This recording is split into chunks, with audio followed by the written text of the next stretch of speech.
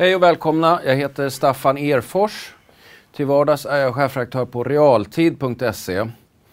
Men idag är jag programledare i programserien Vit som snö. Vit som snö, titeln på programmet kommer ifrån ett mejl som Fredrik Crafoord skickade till Mikael König.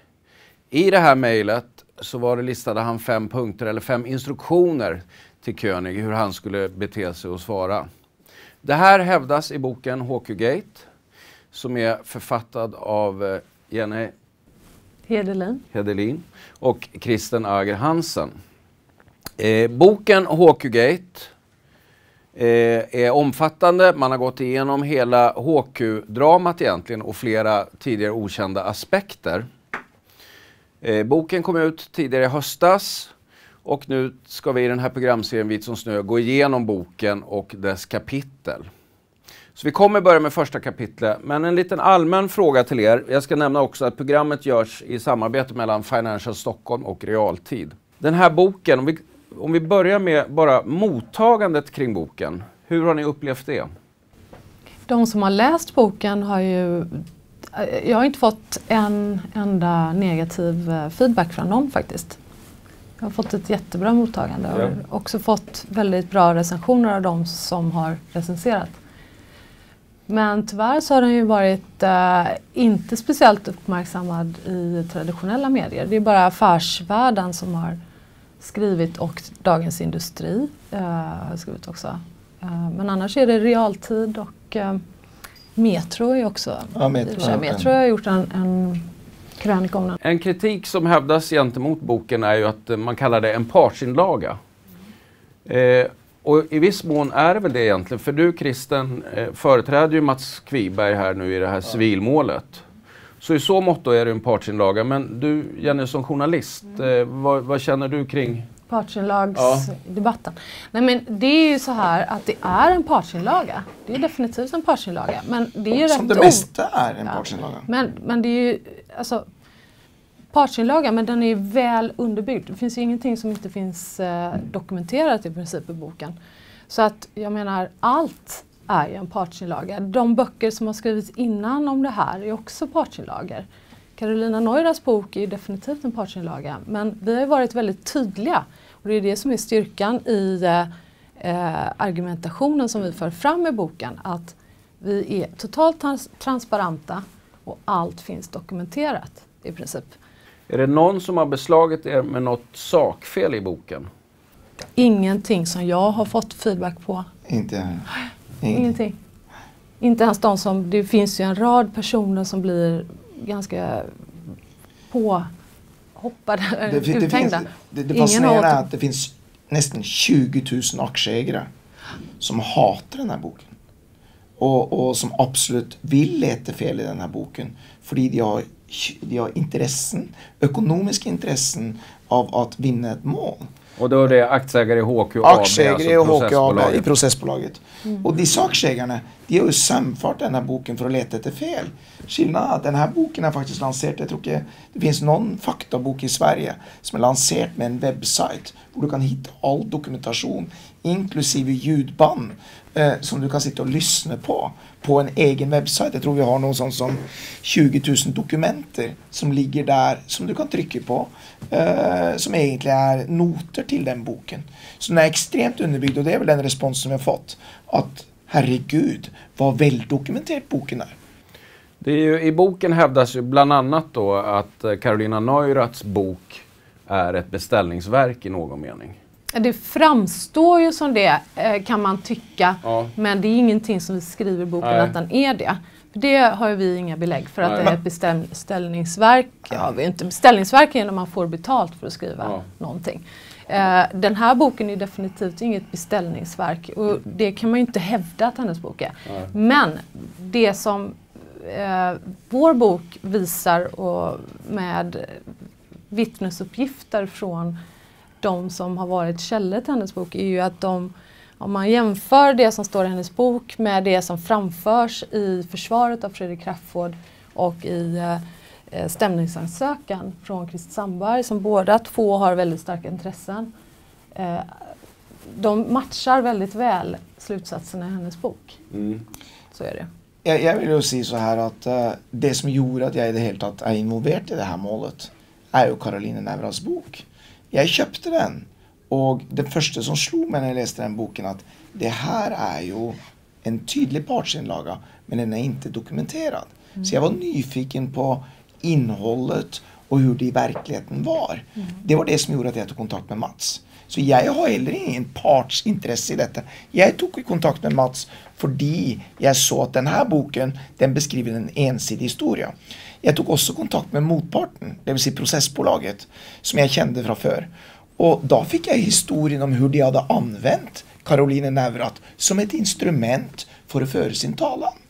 Eh, och jag var totalt chockerad när jag fick höra hur Christer Sandberg hade då anonymt delt ut hennes bok, köpt boken av Caroline Neurath, varit uppdragslämnare tillsammans med Fredrik Crawford och sen massdistribuerat ut boken. Han köpte 280 ex delt ut till alla domstolar, förvaltningsdomstolar, bolagsverk, det ena och det andra för att påverka.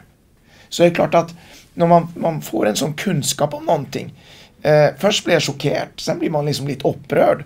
Och så tycker man, men varför? Och så har hon fått trovärdighet för detta.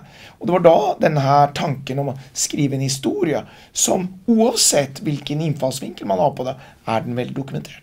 Och det är det vi har gjort. Vi ska snart börja prata om, om, om första kapitlet. Jag tänker bara det här du nämnde det att traditionella medier har inte rapporterat så mycket kring boken eller recenserat den. Mm. Och vad kommer det sig av tror ni? Nej men alltså den här boken, eh, det har ju kablats ut en sanning under eh, sex års tid kan man säga vad, om vad som hände i banken. Och den har ju liksom naglat sig fast hos inte minst eh, eh, etablerade medier. Eh, man har trott att man visste exakt vad det var som hände i den här banken. Och eh, på något sätt så är det ju det, det krävs ju rätt mycket prestigelöshet att ställa sig, ta ett steg tillbaka och faktiskt säga som de sa på Morningstar. Eh, att de konstaterar att jag hade fel. Mm. Det sitter väldigt långt inne. Mm. Och eh, jag menar, det, det, är nog det som är anledningen. Och sen är det en väldigt komplex materia. Jag menar, de flesta har fortfarande inte läst vår bok. Eh, och man har ingen koll vad som egentligen hände. Och det är nog en kombination av de två sakerna tror jag. Ja, det, är, det är många komplexa frågor i, i hela rättegången och, och även i, i, civilmålet som pågår just nu. Eh, I civilmålet, det handlar om 3,2 miljarder kronor som eh, HQAB kräver. Eh, plus ränta, det blir närmare 4 miljarder kronor. Eh, och jag vet, Kristen, du var förvissad om att eh, Kviberg, eller att brottmålet skulle läggas ner, att, ja, det, att det skulle bli fri, ogillas. Eh, och hur känner du nu under civilmålet? Ja, så jag måste ju säga att eh, eh, processbolaget framstår ju idag som otroligt svaga och hela deras argumentation är slått sönder redan. Eh, nu har vi ännu inte hört KPMG som, som kommer till att ta och hantera sakfrågan om själva värderingsproblemställningen, även om vi har berört den. Men jag kan säga så att eh, processbolaget kommer till att förlora. Det är helt uppenbart. Detta är ett processbolag. Uh, och det är ett processbolag som har en uppgift, processa för att det ska berika någon annan som aldrig har förlorat en krona i det här målet. Och det här tycker jag det, det är tragiskt. Det borde vara regler för att man inte får lov att bedriva på det här sättet. Uh, men det här är lyckosökare. Uh, eh, och det finns lott, det är lottsedlar till salgs. Och lottsedlarna är aktier i HK. Men de kommer att förlora det här målet. Det är helt uppenbart att det inte finns. De har inte på fötterna och de är helt fel ute. Rent hypotetiskt, om det skulle bli så att de förlorar målet. Vad, du företräder ju Mats Kviberg här i rätten. Har ni ja. diskuterat vad sker sen? Kommer ni stämma staten med tanke på... Nej men alltså det är helt uppenbart att eh, hela HK, om du tar konklusionen av den här boken, så är det ju en bit. Det är att Finansinspektionen har fel i sitt beslut. Och allt annat som du ser av människor av kött och blod runt det, det är konsekvenser av det beslutet. Så när du läser om Sven Hagströmer eller Fredrik Crawford eller vad de har gjort eller inte gjort, så är det konsekvenser av ett felaktigt beslut. Och det vi kommer till att angripa idag, det är det felaktiga beslutet. Eh, och det är rätt och slätt att stämma Finansinspektionen. Det är de ni ja. kommer gå emot så att säga. Det, det är helt uppenbart att uh, de har gjort övervåld när de tog uh, tillståndet. Mm. Och det byggde på felaktig grundlag. Och det vet vi idag.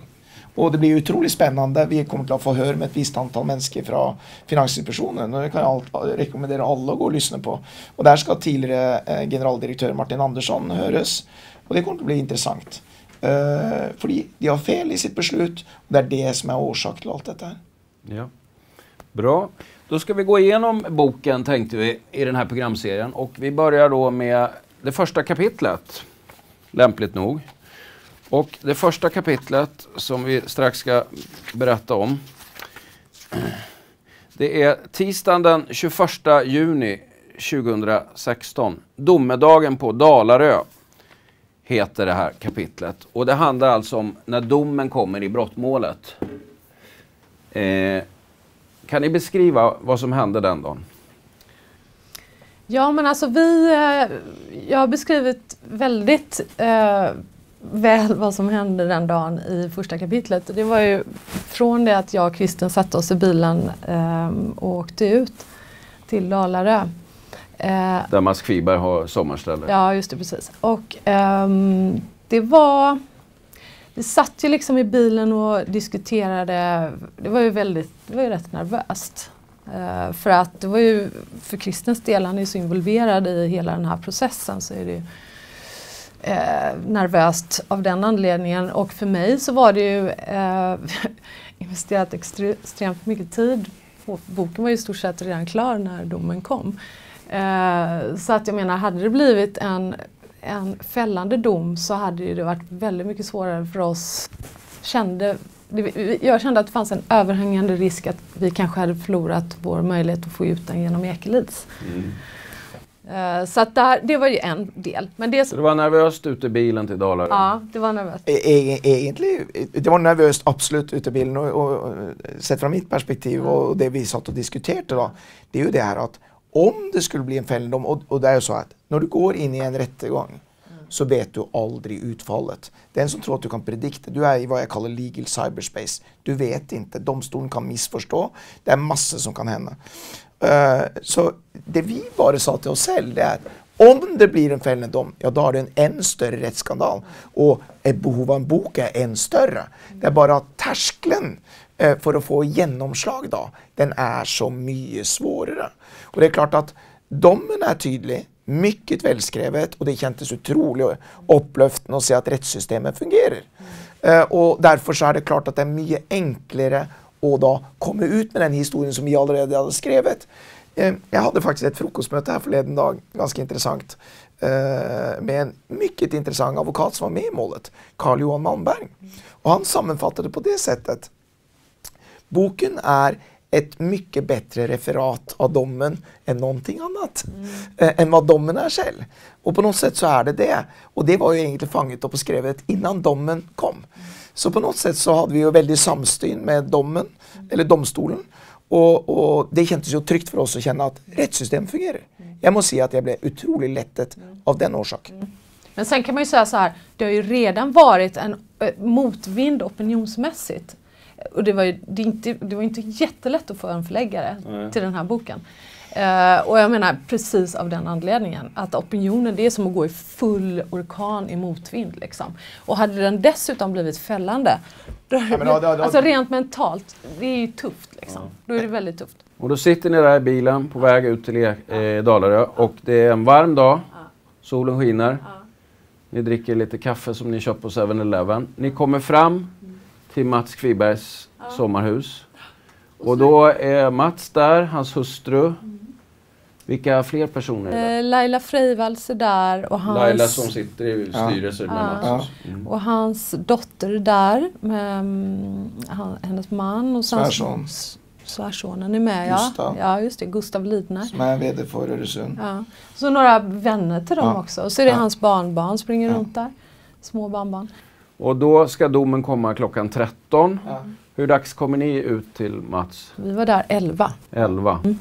Hur är stämningen där då bland, bland gästerna och familjen? Otroligt bra. Alltså, ja, bra eh, väldigt bra stämning. Inte tryckt på något sätt, tvärtom ganska Eh, det är ju självklart lite nervöst men, men, men väldigt glatt och väldigt trevligt. Mm. Uh, Sen blir det ju lite nervösare. Det, ju närmare du kommer deadline, ju nervösare blir det. Det tystare stämning. Men då serveras ni lunch där efter ett tag? Ja. Kommer ni ihåg vad ni fick för lunch? Ja, faktiskt. För jag var inte så förtjust i den tonfisksalladen. Jordgubbar till efterrätt. Mm. Och sen blir stämningen mer och mer tryckt och vi närmar oss nu klockan 13. Och vad sker strax? Då har vi avtalat med en av våra advokater som då ska ta emot domen i tingsrätten. Att vi ringer upp han och det är Ole Kullinger, advokat Ole Kullinger. Så vi ringer upp han på min telefon och så får han då snabba sig och läsa igenom den här domen. Och, och pröva hitta, med på högtalartelefon och pröva hitta fram där så snabbt som möjligt till där vår avtalet, eller avtalen säger de, eh, slutet, de slutet enten är ogillande eller friande. Eh, och det går rimligt snabbt men det är ju också, de sekunderna är ju jävligt långa. Om jag får lov att säga det så. Eh, men så fick vi det friande och eh, då var det bara ja! Så här, hela gänget faktiskt går där. Eh, så var det kul. Ja. Fast du har berättat för mig att du inte gjorde riktigt Nej. så. Jag, jag sa det till honom innan vi kom hit och det var inte för att jag inte ville att de skulle vinna utan ja, för mig har det varit, även om inte någon annan journalist var där och kunde se mig där, så har jag ju hela tiden haft en rätt hon, stor... Hon blev deprimerad, det var så? Knappast. Nej, men Nej, alltså just det här att någonstans är det viktigt att, ja. har det varit väldigt viktigt för mig eh, att behålla den här journalistiska integriteten och kanske inte, eh, naturligtvis, jag blir superlättad. Mm. Superlätt. Men jag har ju framhållit det i boken också att för mig hade konsekvensen blivit också, eftersom jag investerat så mycket tid i det här, det har blivit väldigt jobbigt. Och jag, men jag har var lite så här noga med att inte du vet, så. Men, alltså, men, du, för dig har det varit viktigt under författandet av boken ja. att uh, ha en bibehållen journalistisk integritet? Ja, jag har haft väldigt, faktiskt uh, noggrann med det.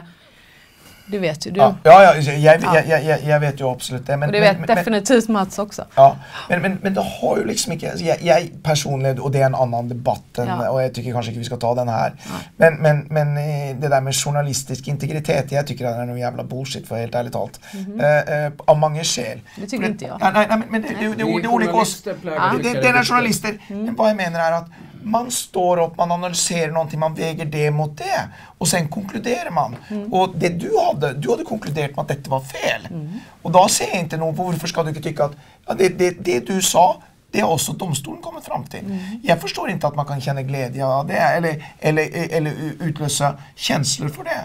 För det är ju det du hade gjort. Mm. Du har suttit och utvärderat från ditt mm. ståsted, mm. olika dokument, Uh, hittat uh, och uh, riktignok fått hjälp till att hitta. Men du, du har analyserat, mm. du har betraktat det själv mm. och utifrån det så har du konkluderat med någonting.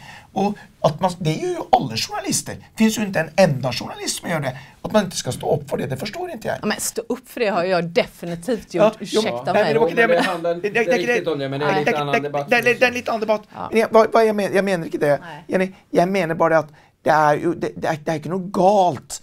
Det här gör journalister varenda dag. Nej men du måste ju ändå ja. förstå att jag är journalist. Ja, ja. Och då journalist. finns det en, en, en, en dubbel, alltså man är det är väldigt viktigt för mig att behålla integriteten. Ja. Ja. Hela tiden, ja. nu också faktiskt. Och, jag, och jag känner på något sätt, det är lättare för dig mm. att göra den summeringen. Men det är inte lika lätt för mig. Sen är, det, sen är det så här också som journalist, för att man ska kunna göra de här konklusionen på ett så neutralt sätt och objektivt sätt som möjligt så är det viktigt att man håller en viss distans. Mm. Eh, och därav kan jag tänka mig din känslomässiga distans. Det var en känslomässig... Även om du hade investerat väldigt mycket i det som du uppfattar och konkluderar som sanningen. Mm så blir det ändå att man håller en viss distans, en viss men, och det, och det, men det, det ingår i yrkesrollen. Det, det, det, intressanta är att även om domen hade varit annorlunda så kommer man ju ha samma åsikt. Alltså ja, det betyder inte att, absolut. Eh, och, det, och det, det samma är, det betyder bara för att domen har konkluderat, men det betyder inte att man nödvändigtvis har fel, Nej. rätt heller. Nej. Eh, det är bara att det här kom tingsrätten fram till. Ja. Och detta valde domstolen, ja. inte, eller rätt sagt åklagaren, att inte överklaga. Ja. Vilket gjorde att man satte detta än starkare mm. eh, i, i, i, i sten. Vilket gjorde att det du har kommit fram till, mm. eh, utifrån din, ditt ståsted. Det är rätt konklusion. Eh, det jag har kommit fram till utifrån mitt ståsted var rätt konklusion. Uh, uh, även i förhållande till domstolen. Mm. Så, så jag menar, och jag hade haft samma uppfattning om domstolen nu hade kommit fram till något annat. Mm. Så hade jag fortfarande stått för samma, ja. samma åsikt. Om inte domskälen hade varit på ett sådant sätt att jag hade blivit övertygad. Ja. Men jag har följt rättegången och det har du också gjort. Och det fanns ingenting i den Eh, i, i, under den rättegången som skulle få mig att ändra den uppfattningen. Och det var ju det vi diskuterade i bilen. Ja. Jag ja. menar, hade det blivit en fällande brottmålsdom så hade ju vi gett ut den här själva. Ja. På egen utgivning. Absolut. Så att jag menar, det är inte så att jag sitter där och inte kan stå för boken. Nej, det, det, var det, bara, det är en känslomässig sak. Men samtidigt, journalist, som, sam, samtidigt som jag säger att ja. det gör det också jobbigt att göra en sån bok med någon som är journalist. Ja, eh, skitjobbigt. Eh, för det, det, det, är på gott och ont ja. i grejen där. Men någonstans... Det är många hänsyn som det är många hänsyn man må ta när man gör en sån produkt. Absolut, men jag tycker att det finns ett sundhetstecken. Mm att inte jag bara liksom Nej. går in där och liksom wow, skålar. Det ja, finns absolut. det. Man, vi, alltså det blir ju ändå så. Ja. Det måste finnas en liten, ett motstånd mellan mm. mm. oss två, mm. mm. eller mellan mig och Mats och de som har ekonomiska intressen. Annars så riskerar det att bli liksom men en, en, en, Men en ting är liksom Mm. Vi två som jobbar med projektet. Ja. I förhållande till Mats så har ju Mats varit helt utanför det. Han ja, har ju överhuvudtaget inte varit in, involverad eller haft någonting. Han... Vi kunde konkludera på olika sätt. Och det kan jag se. Nu hade ju innan den här boken jobbat och därmed också hittat de här dokumenten som gör att det fanns orsak. Jag glömmer ju aldrig det här att eh, när jag började jobba med Mats. Och, och, och det är det här som jag tycker är så starkt och så häftigt. Eh, fordi det han gjorde Jag kom in där 17 januari 2014. Och så var det i princip så här har du nycklarna och här är passorden till alla mina mail och alla databaser. Jag tänkte, da. har han ingenting att dölja? och så liksom bara rätt in där och dyka ner i alla dessa databaserna och liksom prøver å hitta grejer. Och när du då börjar å igenom allt detta, så ser du herregud, den här historien ser helt annorlunda ut.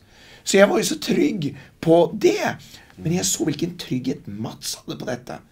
Och Mats har ju inte varit i närheten, därför var jag väldigt trygg när vi jobbat med någon mm. som kunde plötsligt, om vi hade haft någonting att dölja här, så kunde du plötsligt, oj, hitta det eller hitta mm. det. Mm. Men det fanns inget sånt. Så det var ju ganska tryggt för dig också. Absolut. Uh, uh, men man vet ju aldrig när man börjar på det sånt. Mm. Men vi hade ju redan det materialet då. Mm.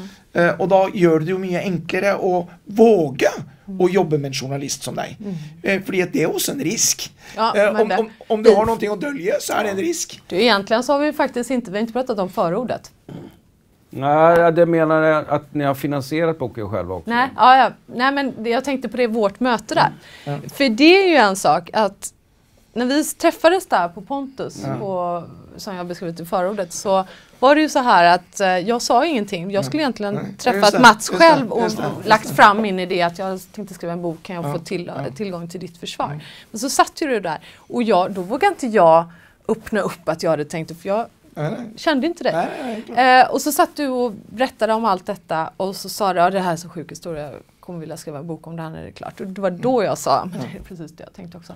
Men då var ju den här krönikan som ligger i slutet av boken. Just det. Det. det blev ju ändå ett kvitto men för alltså, er att jag hade ju på något sätt eh, kommit ja, alltså fram till det, de här slutsatserna själv. Det, det, det gjorde ju att, eh, precis, ja. du såg mycket av den bilden och det du angrep där var ju netto, eller rätt sagt det ifrågasättande som du så starkt gjorde där, det var det som Finansinspektionen, som faktiskt är det som man har konkluderat med här. Det beslutet är felaktigt. Och det du gjorde, det var ett ifrågasättande på ett vettigt sätt. Om att det beslutet gick liksom väldigt snabbt och grejt. Och det är ju det vi finner ut. Och det, det, det, det spännande i detta här är ju att när vi har fått tag i det här materialet till han Fredrik von Krusenstjerne som skulle göra en dokumentärfilm om detta så har man ju alla intervjuer som han har gjort med Finansinspektionen under brottmålet. Mm. Det visar ju att de var helt inkompetenta. Och dessa, det är ett senare kapitel i boken så det kommer vi återkomma till i den här programserien. Ja. Eh, jag tänkte att vi ska flytta oss tillbaks ut på Dalarö. Ni har ja. mottagit domen. Mm. Du har jublat. Du har jublat lite försiktigare. Jag jublade inombords. Du jublade med integritet.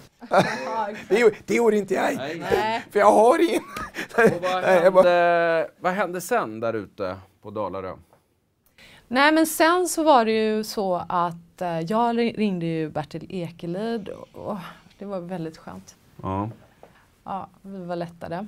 Uh, och nej men vi, det, men det var inte nej, någon... Vad, vi hade faktiskt en väldigt intressant, vet vad? Ja. Det, det, blev faktiskt en väldigt intressant, vi ringde Bertil Ekelid. Ja. Och sen så började vi och skulle snurra till det här förordet på ett, hur skulle det på ett, på ett uh, ja. visst sätt. Ja. Och så sa, för vi var ju, han hade ju sagt att om det blir en fällande dom, ja då eh, garanterar inte att jag vill ge ut boken. Han sa så här till mig. Om. Han sa så här till, nej men, ja just det.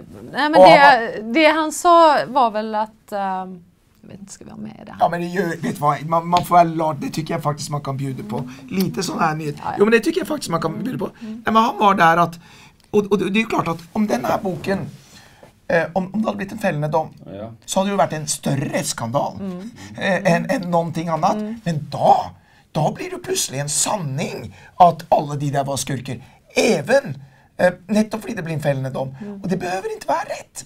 Faktum där är lika mycket eh, som det var om det hade blivit en fällande dom. Mm. Och, det, har och, och, allt har ju hänt. Mm. Och det gör ju det att då blir folk rädda. Då, nej men vi kan inte eh, förlägga mm. och vi vill gärna ha detta med i förordet. Mm. Och han ville stryka lite och mm. lägga till lite och liksom. Ja, ja men, det är klart. Ja, det. Men, men, annars, måste man väl säga, annars måste man ju säga så här att det Jag var ju runt med det här bokprojektet på alla stora förlag mm. i Sverige. Uh, och uh, alla var mer eller mindre intresserade. Uh, ett väldigt stort förlag var väldigt intresserade. Men det var precis den här saken som var det som fick dem att backa ändå. Att jag tycker man kan vara ärlig. Bonnier, alltså jag, vadå, det är liksom inte något, något farligt att lägga ut det att uh, jag pratar med Abbe Bonnier, du har pratat med Abbe Bonnier. De vill inte. Nej, de vill inte. Det är en stor opinion, alltså det är en opinionsmässig risk. Mm.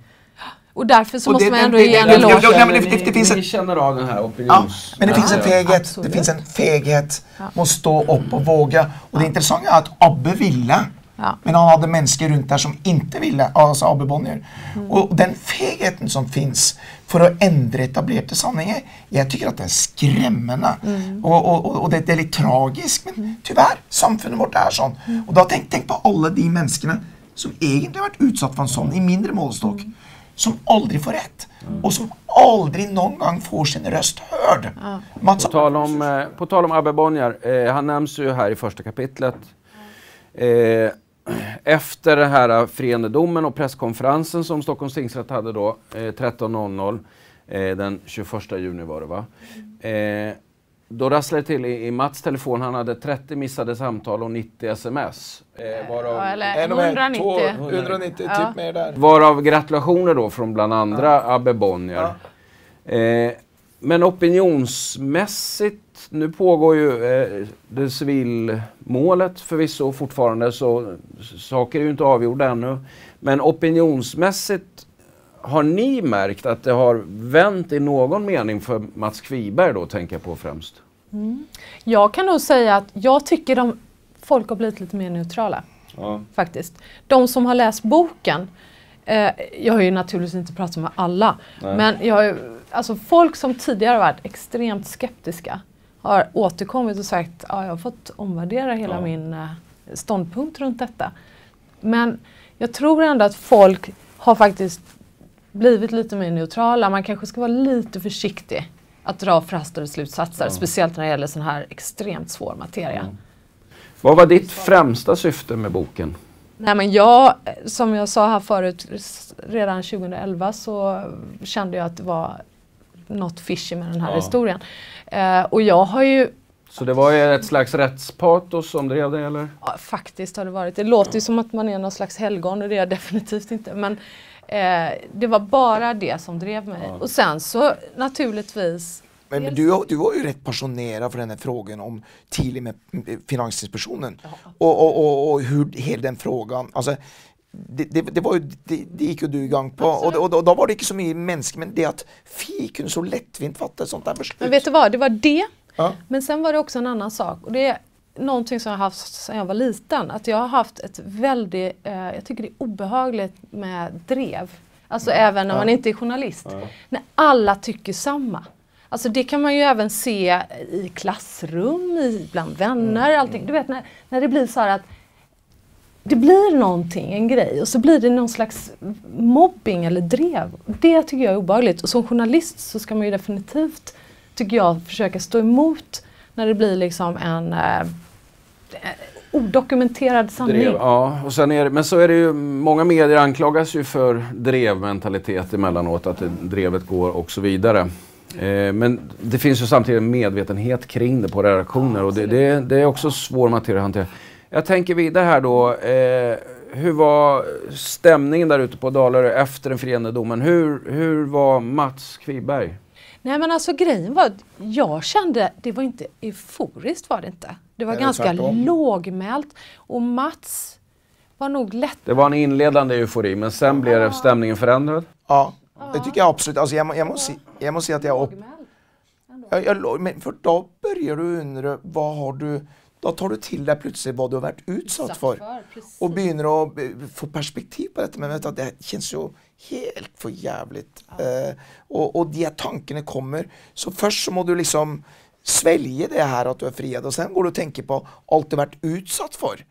Och, och, det här var ju en så kristallklar dom. Det var liksom inte Ogillat betyder rätt och slett inget brott har begåtts. Mm. Så man går inte in i rekvisiten och tittar på eh, om, om du var i närheten av detta.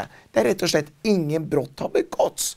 Och, och när du då kan också konkludera med att om åklagaren har gjort sitt jobb så skulle han bruka och frågat några experter så hade han i löpet av någon, några timmar klart att finna ut att han aldrig skulle väckt ett åtal.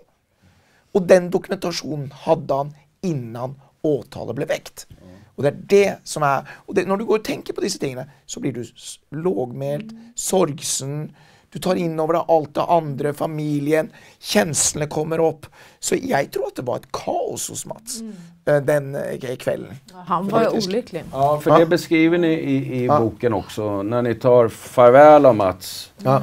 framåt kvällen, mm. eh, då är han nedstämd och ledsen. Och det, det här är en man som har friats i, ja. i en domstol i kanske århundradets svenska finansmål. Absolut. Men han är ledsen när han går och lägger sig. Har ni pratat med honom om det här? Har han själv reflekterat över det här? Mm. Ja, men, men han har inte helt velat kanske se identiskt den samma bilden. Uh, men jag, jag tror han gör det idag. Jo, idag gör han det. Men akkurat när du är uppe i det där så kanske ser du det inte på samma sätt. Mm. Men, men, men jo, vi, vi diskuterat och pratat om det och att du plötsligt går in i alla dessa tankar om vad som har hänt. Och allt du har egentligen varit utsatt för och vad människor, spott och spe och vänner du har förlorat. Mm. Alltså det går igenom en sån här process i, i fem, sex år. Med alla vänner du mister. Mm. Alla som inte vill ta på dig för att uh, du är ju spedalsk. Mm. Uh, det att vara i närheten av dig, det kan ju smitta. Och det är ju det, det är den smitteffekten folk är rädda för. För att vi ska vara så perfekta. Så om vi är, är med någon som är utsatt för någon, då är det en smittoeffekt. Och den smittoeffekten gör att vänner försvinner. Alltså 90% av vänner försvinner. Och någonting som jag upplevde mycket runt Mats, som trots allt också har fått lov att se på hans sociala miljö i närhet. Gått på födelsedagskalas eh, eh, och jag reflekterar över bland annat på födelsedagskalas i, i familjen hur få som egentligen, ett, jag förstår att folk inte kan, men de flesta har trott att han är skyldig. Men ingen har grundlag och ingen har insikt. Och vem orkar att läsa en sån här bok och sätta sig ner och förstå alla detaljerna? Så det har blivit en bild där, ja, han har varit, vi gillar Mats, men han har ju kanske gjort det här. Och den, den känslan, den, den har grodd fast hos folk. På tal om det, vi ska runda av här snart, men du sa, eh, vem orkar läsa en sån här bok? Ja. Då kan man fråga, vem orkar skriva en sån här bok? Eh, lite kort om det, hur har arbetet varit? Det har varit, om jag ska vara lite brutal, jävligt tungt har det varit för ja. min del. För att jag låg så långt bakom, eh, alltså jag var ju tvungen att läsa in mig mm. på väldigt mycket som du redan hade mm. Eh, så att jag menar när jag började med det här våren 2015 så var det väldigt mycket läsa in sig på protokoll och allt det där. Och så fattar du nästan, du måste läsa saker om och om igen. Många ja, gånger. Ja. Alltså många gånger. För att jag såg det någonstans där och så måste du re reta reda på. Det är enormt material. Ja. Alltså det, det finns 2,5 miljoner ja, associerade dokumenter och mejler och allt sånt. Och sen så var det ju det här också att när jag väl började skriva, det var i oktober eh, förra året, så några månader senare då så kom ju Carolina Neurath ut med sin Fartblinda. Eh, som var en copy-paste på hennes, eh, i princip, plotten. Alltså det är intressant att man ska vara klar att när Caroline Neurath skrev sin bok så fanns ingen dokument tillgängliga. Nej, det fanns inte det. Uh, här fanns det två och en halv miljon dokument och, ja. och kronologiskt kunde sätta upp och plocka fram. Mm. Även om det är ett megajobb och, och pröva finna ut hur det hänger ihop. Nu har vi varit igenom detta, mm. det har varit bearbetat under tre månaders rättegångsförhandling i brottmålet. Mm. Mm. Nu under eh, 100 rättegångsdagar som du gör nu. Vi har gjort 23 rättegångsdagar tror jag. Mm. Eh, och, och, och, allt belyses ju kryss och tvärs. Ja. Och så sitter du, vad gör vi här? Ja. Det är ju liksom det första reflekterar, vad gör vi här? Och så sitter det här processbolaget där mm. och som vill komma åt en säck pengar. 4 miljarder människor, 20 000 aktieägare som har förlorat pengar. Ingen nästan av det har förlorat pengar. Det är ju nya aktieägare som vill ta en lottsedel. Men jag kan säga från, mig, som, från mitt perspektiv som journalist, när du då sitter och går igenom allt detta och så börjar bilden klarna. Och så ser du liksom att det var så mycket missuppfattningar och det är fel budskap som har kablats ut. När du då har en kollega på en annan tidning som gör ytterligare en bok på samma story och blir hyllad igen. Och så satt liksom, jag kommer ihåg i januari när hon lanserade den. Och den ena radiointervjun efter den andra, den ena morgonsoffan efter den andra där hon får sitta då och kabla ut det här budskapet en gång till. Och så sitter man där och, ska och, och liksom känna att man har en sån enorm uppförsbacke alltså jag, jag, opinionsmässigt. Mm. Och inte ens, vi hade inte ens förläggare. Men jag, jag måste säga att jag, jag, jag, tycker hon har varit helt fantastiskt duktig. Ja, det har På marknadsföra sig själv. Ja, det måste på den här säga. historien. Och senast nu var det den här programserien och Dagens PS, jag såg det här med varmkorven. Uh, stort SVT-program där de nu igen gör en parodi på scenen. Har du sett den? Nej. Den, för två dagar sedan, igår tror jag till och med det var.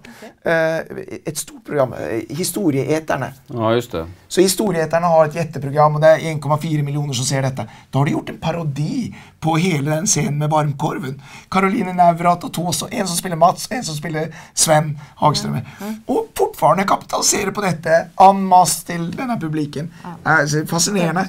Hon har varit jätteduktig på att marknadsföra sig själv. Ja. Eh, baserat på en fejkad historia dock, men, ja, men ja. Eh, ändå. Men annars så måste jag för att ge svar på frågan, arbetet har ju gått väldigt bra mellan oss. Men ett hästjobb förstår jag. Eh, vi kommer tillbaka med Vit som snö och då kommer vi behandla kapitel 2 och vi kommer säkert göra lite utvikningar som man får göra när man pratar. Eh, kapitel 2 heter London Miami Flight BA 1471. Tack för att ni tittar.